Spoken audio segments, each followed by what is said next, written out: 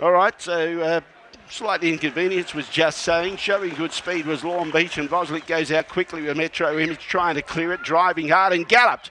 Can't handle the pressure on the first turn, so it goes up in the air and it's out of action. Pacing now, but goes back to nearly last placing.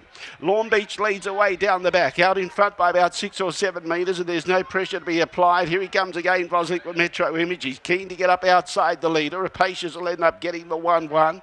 On the inside was Dashing Julius, and in turn behind, behind those was Urella Fella, who follows the 1 1.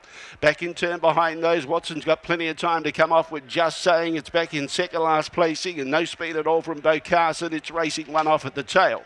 Here they come in the front straight. Lawn Beach leads the way. Comes at the judge now with a couple to go. That's 1,200 metres to travel. Outside the leader is Metro Image. Rapacious ends up getting a really good run. One out, one back. So he's poised to pounce.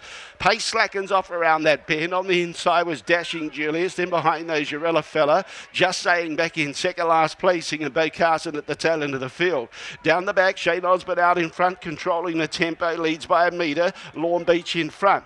Outside the leader, Metro Image. Cost itself badly by galloping on that first turn. Has recovered. Sits outside the leader. Rapacious has got good cover. One out, one back. Maybe this time for Cassie Robinson.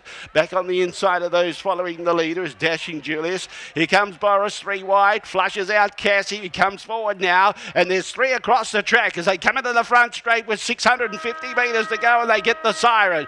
Off the track there was Rapacious, lost a bit of ground when they sprinted up. Urella Fella. Now Watson's going underneath runners there with just saying tickled up to do so. Urella Fella paced roughly when Rapacious dropped back into its face, and he's starting to press forward now. Rapacious. He's starting to build up momentum. Held up on the inside was just saying behind Lawn Beach. They still haven't caught Lawn Beach though. Rapacious gets within two metres. On the inside, just saying Urella Fella's not running on good enough at this stage. Dropping out between runners was Metro Image. Lawn Beach still in front. Rapacious continues to come at it. 120 metres to go. Rapacious looms up on the outside. Maybe this time for Cassie. Yes, it looks like it's going to be for sure. Rapacious goes to the lead. Lawn Beach gave cheek, but Rapacious is going to be too good. Second Lawn Beach, third place Urella Fella. Applauding fourth, just saying. Behind those Metro Image and together at the tail end of the field was Bo Carson and Dashing Julius.